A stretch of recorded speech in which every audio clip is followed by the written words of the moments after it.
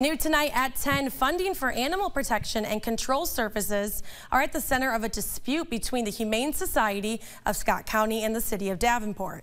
TV6's Kyle Bales joins us now with details on what both sides of the argument have to say about their contract. Kyle? Thank you, Brianna. Now, last year, both parties entered into an agreement that runs through June of 2025. But now, according to the city of Davenport, the Humane Society is terminating this contract, saying the city is not contributing their fair share.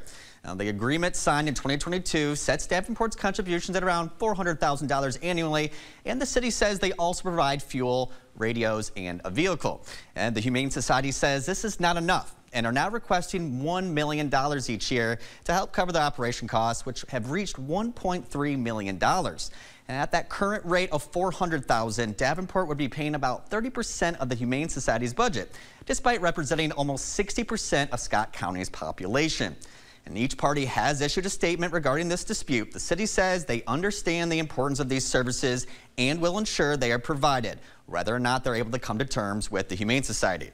Now, meanwhile, the executive director of the Humane Society says they appreciate the partnership they have had with the city and have faith that the city council will recognize that the services they provide should not be subsidized by private citizens.